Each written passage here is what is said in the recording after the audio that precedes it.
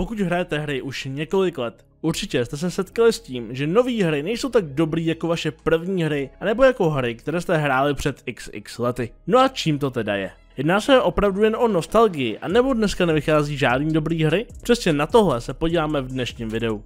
Začnu tím, že se podívám na pár her, které za mě byly naprosto boží, když jsem je hrál a jsem zvědavý, jestli schválně obstojí i dneska. Začnu hrou Call of Duty Black Ops 2. Pro spoustu lidí se jedná o jednu z nejlepších her ze série Call of Duty a já nemůžu více než souhlasit. Hra měla funkční streaky, který opravdu zabíjeli, super zbraně, zábavné mapy a spoustu a spoustu dalšího. Ale když si zahraju Black Ops 2 dneska, tak ta hra je strašně zpomalená oproti novějším dílům. Jak sami můžete vidět, sprintovat můžete opravdu jen krátce, pokud nemáte perk na neomezený sprint, který vám sice stejně nedá neomezený sprint, jenom vám tu dobu, kdy můžete sprintovat prodlouží. Hrozně pomalu vytahujete zbraň ze sprintu a celková rychlost té hry je daleko a daleko menší oproti dnešním. Takže multiplayer Black Ops 2 opravdu nezestárnul moc dobře, ale v té době se jednalo o jeden z nejlepších multiplayer multiplayerů, co střílečky z první osoby mohly nabídnout. Takže u Black Ops 2 se jedná opravdu jenom o nostalgii, protože ta hra naprosto neodpovídá tomu, co je dneska standardem. Další hrou na našem seznamu také Mass Effect 2. Série Mass Effect asi snad nikomu nemusím představovat. Mass Effect 2 je za mě asi jedno z nejlepších RPGček vůbec. A když nedávno udělali remaster celý původní trilogie, tak jsem si řekl, že minimálně dvojku si musím znova zahrát. A i po těch letech se stále hraje dobře, má zajímavý příběh, který můžete svými činy i ovlivňovat a mnoho a mnoho dalšího. Každopádně Mass Effect 2 i na dnešní poměry patří mezi jedny z nejlepších RPGček vůbec, co si dneska můžete zahrát. A pokud jste Mass Effect 2 nehráli, tak můžu vřele jenom doporučit. Každopádně pokud se vám náhodou líbí tohleto video, tak vřele můžu doporučit i dát odběr, aby vám podobný další neunikly.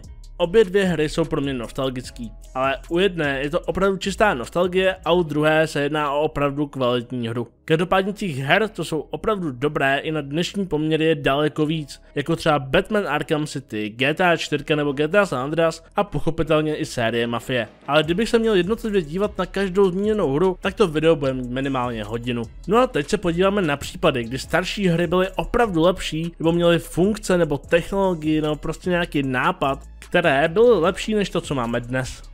Začnu zase s Call of Duty, a to tentokrát Call of Duty Ghost. Call of Duty Ghost sám o sobě není nějak extra skvělou hrou, ale jako první přinesl do Call of Duty za části destruktivní prostředí, dále to, že když jste si dali nuke, tak to změní kompletně celou mapu. Ano, je pravda, že to se týkalo jenom jedné mapy, a to Strike Zone, ale i tak to ve hře bylo. No a co se týče co-op modu, tak nám poprvé bylo představeno Extinction, kde jste místo zombies stříleli mimozemšťany ale bylo to neskutečně zábavné a bylo to zase něco nového a jiného.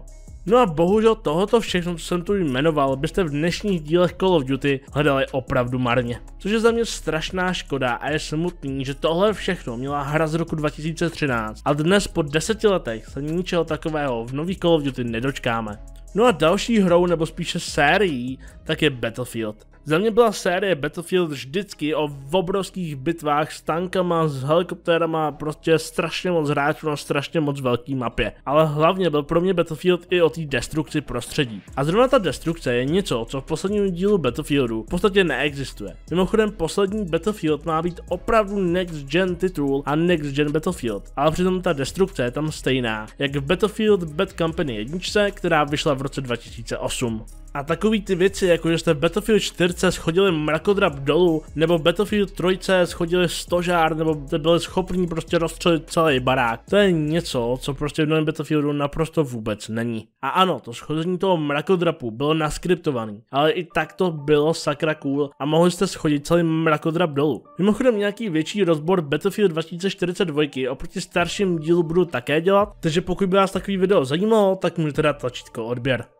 Takže abych to teda nějak zhrnul. Ve spoustě případech se jedná jen o to, že ty hry máme rádi, protože jsme je hráli, když jsme byli o dost menší nebo mladší, ale měli jsme třeba takové nároky na hry, jako máme dneska. Ale je i zároveň spousta her, které vyšly před 8, 10 nebo 15 lety a i dodnes patří mezi jedny z nejlepších her, co si vůbec můžete zahrát. To ale zároveň neznamená, že by dneska nevycházely žádné dobré hry. Ani zdaleka. Ano, je sice pravda, že hodně her dneska nevychází zrovna v moc dobrém technickém stavu. To naprosto souhlasím a přiznávám. A nebo s příšernou optimalizací, to je taky pravda. Ale i přes tohleto všechno si myslím, že stále vycházejí hry, na které budeme vzpomínat za 10 let. A to hry jako God of War, Spider-Man, Forza Horizon, Cyberpunk 2077, Hogwarts Legacy a mnoho a mnoho dalších. Každopádně to, na který hry budete vyspomínat za 10 let, mi můžete napsat dolů do komentářů. Já vám moc krát poděkuji za sledování tohle videa, jste naprosto boží, děkuji moc všem za veškerou podporu, kterou mi dáváte a jsem neskutečně rád, že se vám tyhle ty videa líbí. Zároveň se vám chci omluvit, že teď ty videa nevycházejí úplně často nebo pravidelně. V týdnu, kdy vy koukáte tady na to video, tak já už se budu válet u moře. Takže nebudu mít moc prostor editovat a připravovat další videa. Každopádně to samý bude i příští týden, takže příští středu bude taky jedno video. No a jakmile se vrátím, takže od toho 18. července, tak už zase můžete očekávat klasický přísun videí, takže minimálně dvě videa týdně. Ještě jednou vám teda moc poděkuji za sledování, mějte se krásně, užijte si zbytek dne a zatím čus.